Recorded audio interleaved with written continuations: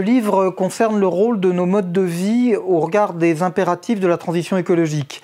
La première caractéristique du livre, c'est qu'il insiste sur la dimension sociale de ces modes de vie et sur l'importance des choix collectifs qui vont de pair avec la conversion écologique.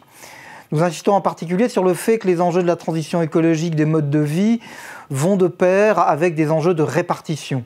De ce point de vue, la question environnementale nous est apparue en quelque sorte comme le nouveau visage de la question sociale. Euh, à ceci près qu'il n'est plus seulement question euh, de partage des fruits de la croissance, comme cela pouvait être le cas dans le passé, mais aussi de partage du fardeau de ses nuisances, de ses externalités, comme disent euh, les économistes. La deuxième caractéristique de l'ouvrage, c'est qu'il concerne à la fois les attitudes ou les opinions à l'égard de l'environnement et les pratiques de consommation, de déplacement, d'équipement, de logement, ainsi que l'articulation problématique de ces deux dimensions, attitude d'un côté, pratique euh, de l'autre. Comme dans la plupart des autres pays occidentaux, la conversion des opinions est largement réalisée au sein de la population française. En 2017, 9 individus sur 10 considèrent que les êtres humains sont en train de malmener l'environnement. L'enquête fait toutefois ressortir deux axes d'opposition majeurs. Le premier différencie les individus selon le degré d'inquiétude environnementale exprimé, tandis que le second renvoie au degré de défiance manifesté à l'égard du progrès technique et humain. Dans l'ensemble, les Français apparaissent inquiets des dégradations environnementales, même si les moins diplômés et les chômeurs se distinguent en moyenne par une plus faible éco-anxiété. La défiance vis-à-vis du progrès est plus hétérogène et particulièrement faible dans les anciennes générations et chez les individus les moins diplômés et les plus pauvres. Ainsi, si l'inquiétude environnementale s'est largement imposée dans la population, les personnes socialement exclues restent en marge de cette conversion globale. Les pratiques de consommation et de déplacement ne connaissent pas un tel verdissement. La pratique du potager recule, tandis que nos aliments sont plus transformés et de provenance plus lointaine.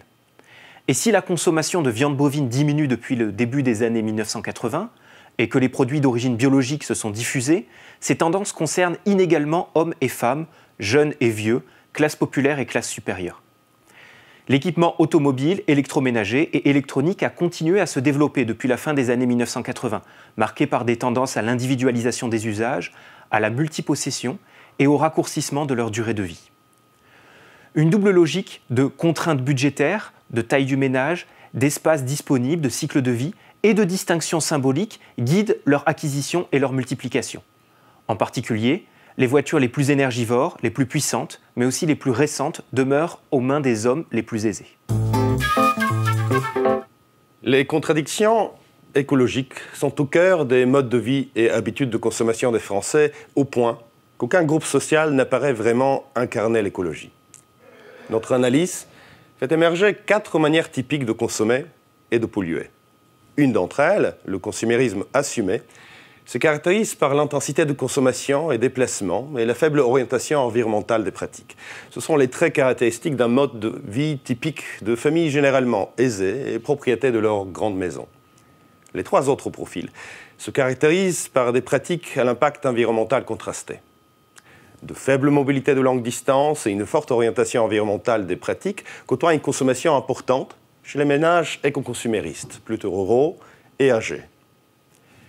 La faible consommation et la forte orientation environnementale des pratiques se combinent avec une, utilisation intense de l'avion au son des éco-cosmopolites, composés essentiellement d'urbains cultivés. Enfin, la frugalité marquée et la faible mobilité contrastent avec la faible tendance à la consommation éthique et écologique chez les frugaux sans intention, aux ressources économiques et culturelles généralement faibles. En somme, si les familles aisées sont particulièrement éloignées du mode de vie écologique, pour le reste de la population, les combinaisons de pratiques plus ou moins durables attestent de la difficulté de se prévaloir d'une forme d'exemplarité écologique. Des difficultés qui sont à mettre en lien avec des conditions sociales et résidentielles contraintes et inégales. Les profils se distinguent également du point de vue des proximités politiques qui leur sont associées. Un écologisme urbain, plutôt extraverti et orienté à gauche, se pose un écologisme ancré dans des territoires ruraux et périphériques tourné vers le local et politiquement plus radical, marqué par la surreprésentation des positions d'extrême droite.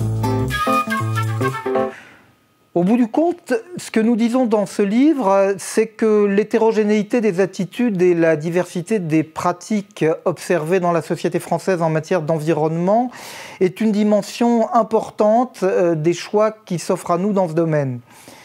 Les différents leviers de l'action publique ont des impacts très différenciés selon les groupes sociaux, selon les générations, selon les territoires, et ils n'affectent pas indifféremment non plus les femmes et les hommes.